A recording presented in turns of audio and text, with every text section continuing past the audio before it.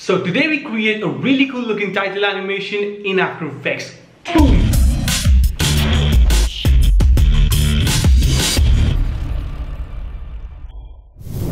Hey guys, what's up? I'm Nikhil from DopeMotions.com and welcome to this brand new After Effects tutorial. In today's video, I'm going to show you guys how to create a really cool looking title animation in After Effects. Now, before we begin, let me tell you guys that this tutorial is purely for beginners, for people who are just getting started with After Effects. So I'll be covering the basics of the After Effects in this tutorial.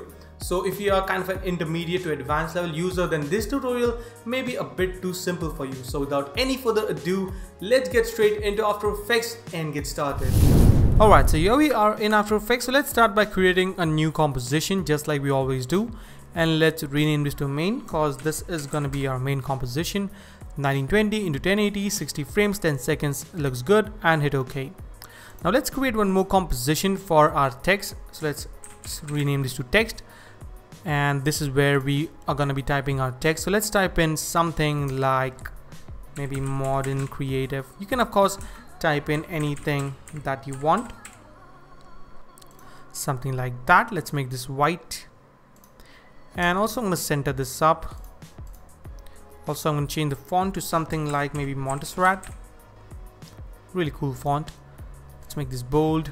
Make it a little bit more bigger. And bring this a bit closer. Just like that. Pretty sweet. Let's go into the main composition and drag in our text composition into the main composition. I think it's a bit too small. Maybe I'll just make it a bit bigger. Something like that. Center this up. Okay. Then I'm going to select the rectangle tool and let's set the stroke to around 20 pixels and create a rectangle just like that. Go into rectangle path 1 unlink the size and let's tweak it according to our text so something like this big. Also center this up. And by the way if you don't know that I'm using a move anchor point script but if you don't have the script you can just select this anchor point pan behind or you know I don't know what really it's called. Pan behind anchor point tool. And you can basically move the anchor point. But you can hold shift so it's gonna snap in into the position. And I think if I hold control and double click on it so it's gonna center the anchor point as well let's check it out. No alt. Yep alt. Alt and if I if I just drag this anchor point and if I want this anchor point in the center I can just hold alt and double click right over here. So it's gonna just snap it in the center and then you can just align this just like that. Simple and let's rename this to line. And let's change the color to something like maybe something like this one looks pretty cool. There we have it. And for the text I'm gonna bring this really close maybe something like 50 okay cool. Now let's animate the stroke so let's go into the line properties and let's add a trim path to this. And now we can animate the stroke using the end property just like that. Alright so let's set this to 0 create a keyframe let's go to maybe one second forward in time and let's set this to 100 then I'm going to create a keyframe on the offset go back in time and let's set the offset to minus 90 so now we have something like this. Pretty cool. Let's select the keyframes, hit F9 to ease, ease those keyframes, go to graph editor. And if your graph editor doesn't look like this, make sure to right click and set it on edit speed graph. Your graph editor will be defaultly set on edit value graph, just like this. So right click and set this to edit speed graph. Then let's select this point and drag this handles just like that. So now we have a really nice and smooth animation. I think it's a bit too fast so I'm gonna just make this make make it maybe around 1 second 30 frames let's see yep this looks much better and for the text I'm gonna go to right over here. Select the text and hit P for the position. Create a keyframe go back in time to around right over here. And just drag it just like so. Alright now let's go right over here. Select the rectangle tool and we this time we don't need any strokes so I'm to set this to zero. We need the fill something like a gray color maybe doesn't really matter. And this is going to be our track matte for our text. So I can create something like this. Let's rename this to M format. And let's drag this on the top of our text. So now we have our text just like that. And change the text track matte to alpha matte so now we have something like this. And if you can't see the track matte option you can just go right over here go to columns and there we have you know the options or the modes that we need or you can just click on toggle switches just like so. Simple. Let's select the matte and I'm going to drag it a bit about just like so. So now we have something like this. Let's select the text and hit U so we can see the keyframes select the keyframes hit F9 to ease, ease those keyframes and let's go into the graph editor and let's drag this handle just like that. So we have a really nice and smooth text animation as you can see. Then I'm gonna go to two seconds.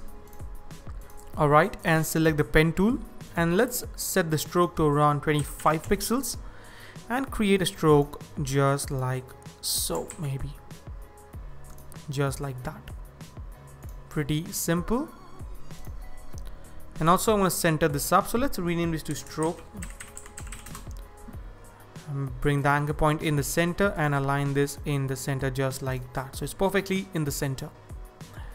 Alright maybe I'll make it a bit bigger. Let's go right over here.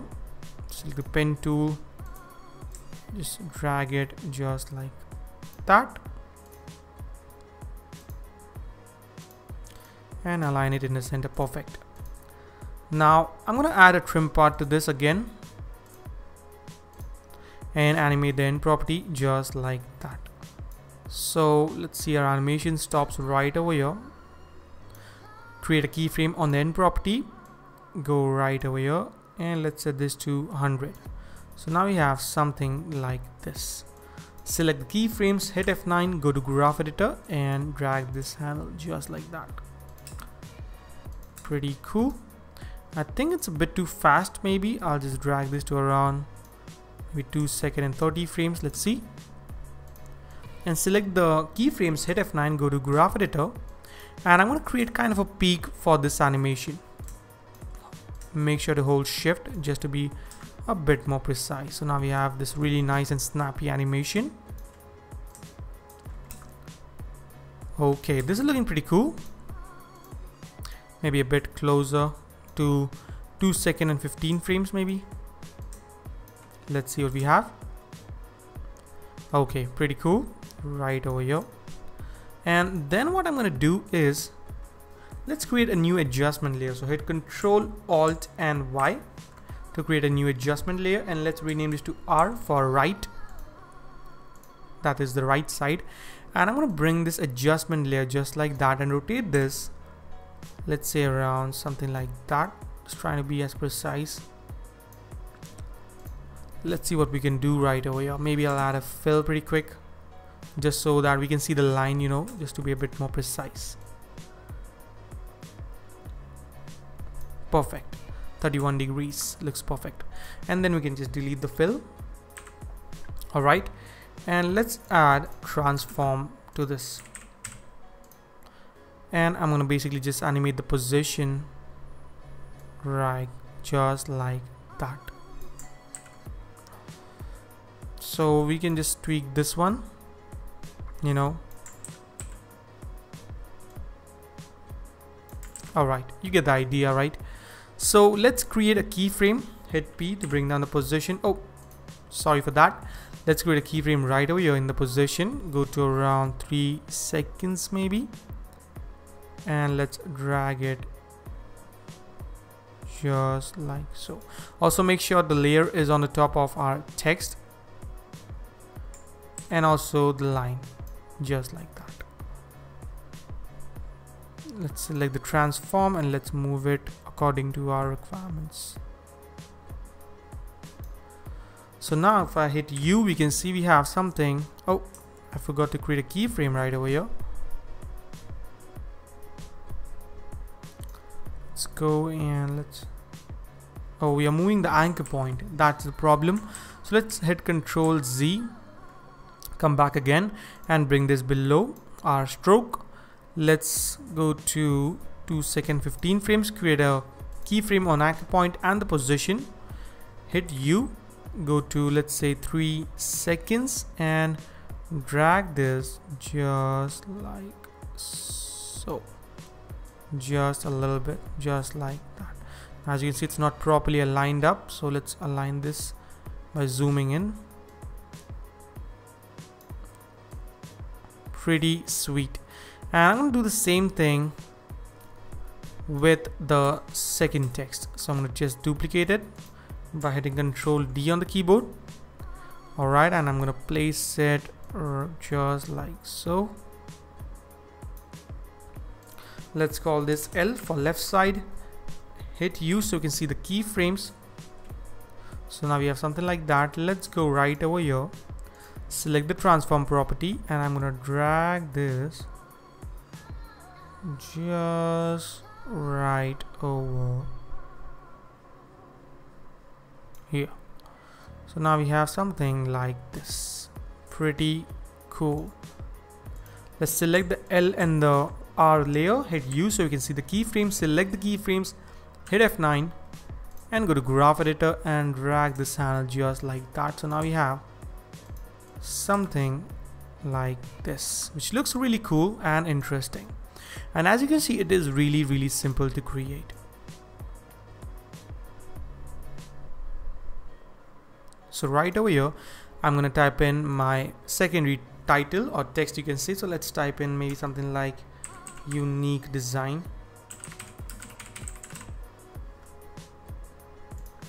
And make it maybe something like a medium. Make it small a little bit. Place it right over here.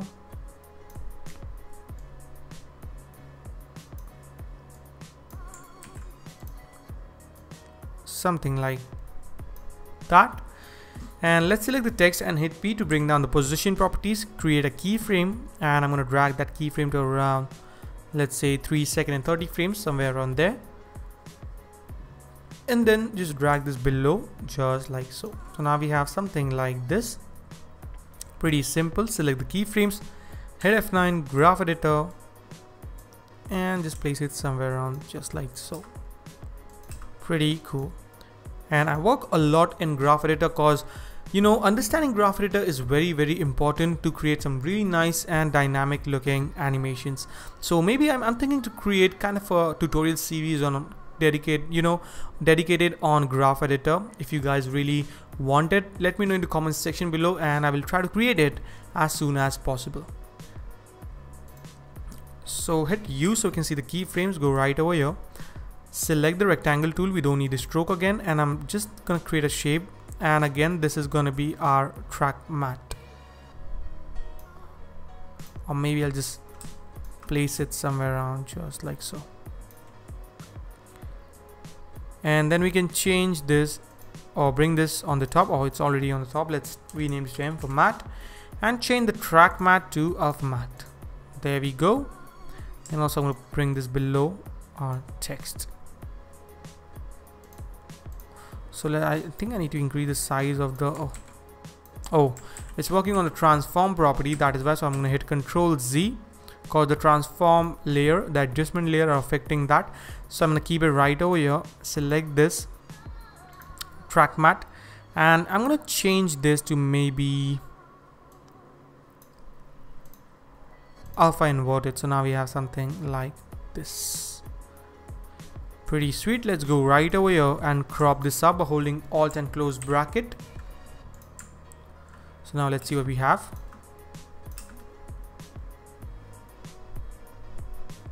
Pretty nice. Now the same thing I'm going to do again. So I'm going to just type in my third text. So let's type in maybe something like dynamic animation. You can of course type in anything that you want.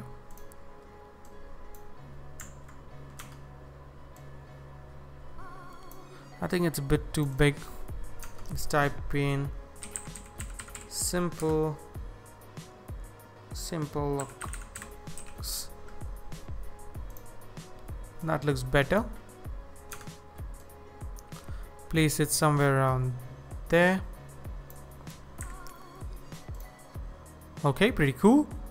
Let's select this both the layers and hit U so you can see the keyframe. I'm gonna go right over here create a keyframe on the position of the text and exactly the same thing I'm gonna do again. So I'm gonna just bring this just right over here.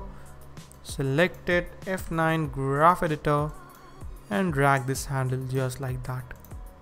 Maybe something like this. Maybe I'll just drag this a bit forward in time just to make it a bit more smooth. Something like this. Pretty cool. And for the mat I'm just gonna duplicate it by hitting control D bring this on the top of the second text. And let's turn this on so we can see it. And I'm gonna place it somewhere around there. There we go. And let's change the track matte to alpha inverted. So there we have it. Let's see our complete animation so far. Oh I need to crop this up. So I'm right over here and crop this up by holding alt and close bracket and we are done. So let's check out a complete animation now. Pretty nice. And as you saw it is really simple and easy to create which looks really interesting and complex as well. And one more thing that I want to show you guys is to reverse the animation which is very very simple. All you need to do is select all the layers and hit ctrl shift C to pre-compose it. Let's call this title hit ok hold alt and close bracket to crop this up to let's say yep somewhere around there. Hit control D to duplicate it. Go right over here in the time and time reverse layer. Hold shift and just drag this just like that. So now we have the reverse animation as well. And one more thing that you can do again is to add some shadow or reflection you can say is to pre-comp this again let's call this animation. Hit control D to duplicate it. Set the second one or the bottom one. Hit S to bring down the scale properties and unlink this. Let's scale this down just like that. Somewhere around there bring this below and add a fast blur to this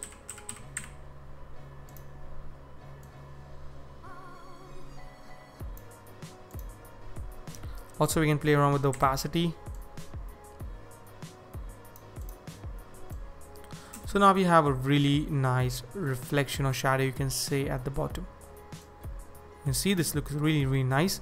Maybe I'll hit S and maybe I'll, we can you know